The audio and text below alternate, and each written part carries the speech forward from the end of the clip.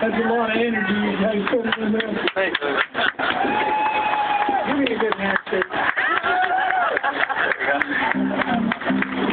Let me kick your hand over. Here. You guys really good. You look at this. Thank you. Thank you.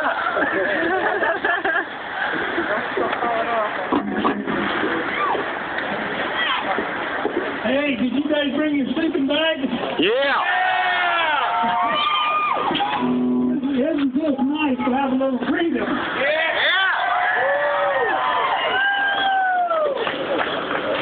You know, uh, I've enjoyed this river all my life. And, uh, I never see quite this big a party, but uh, I hope that you guys let your feet in the Virgin River and at least splash a little water up on your face. Did you know this? Uh, I know it's not lit up. I'm sort of disappointed, but on top of these flags up here, what did you see? Those flagpoles up here. Why do you think they're on top of the flagpole?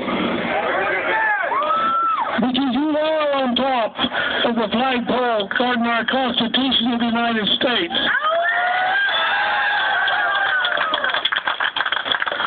You know, our founding fathers did a very good job.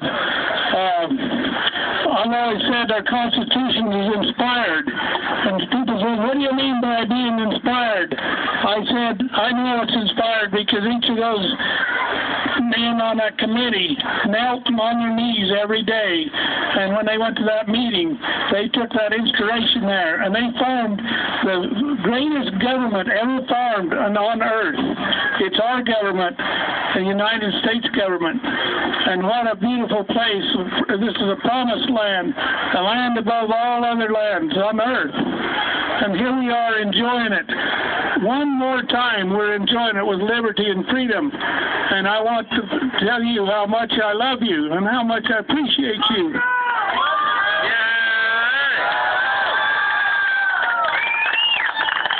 And I want you to know that I want to be on top of those poles with you as we the people. This is not about me, it's about we the people. And one more time, we're going to uh, never let those guns po- point at us again. Not here in America. We won't stand for that.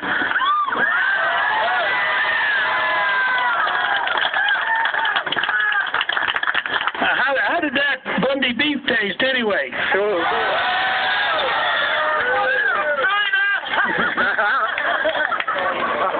And this beautiful, uh, music's beautiful, and those that have played for us, thank you, and all the sacrifice and effort uh, you did to make this happen to it here. I don't know if you've ever had a setting like this before in your life. Isn't this some? Yeah, you know it is. You know the other the other day when we was standing up here and we had to face uh, the, these guns, you know, uh, uh, a flyover flew over, and I don't know how many of you seen that flyover is. is wasn't that a flyover? That was better than any jet airplane you ever seen on Earth. And they flew over there, and I think that was a signal. Uh, God's with us, and He's taking care of us today. And He sure did take care of us, didn't He? Okay, that's we we are example to the world. The kind of government the world needs is the kind of government we have. Now let's let's clean this government up and go forth and enjoy and raise our families and enjoy our lands and enjoy our resources and quit worrying about the rest of the world feeding us. We can feed ourselves and and quit worrying about the rest of the world furnishing us fuel. We can furnish our own fuel. And quit worrying about the world taking care of our family. We don't need the, the world to take care of family. We can take care of our own families. And one thing I want you to remember, the Constitution of the United States wasn't built for a big government. It wasn't built for even a state government. It wasn't even built for a big county government. It was built for you, the people. We, the people.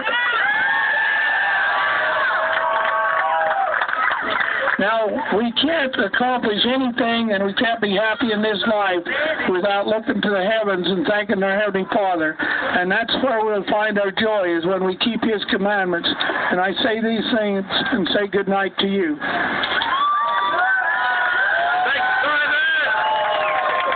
Thank you guys so much. This man is a beacon for freedom. God bless you, Father. We're going to do a couple more tunes. We're going to wrap this thing up. You guys ready?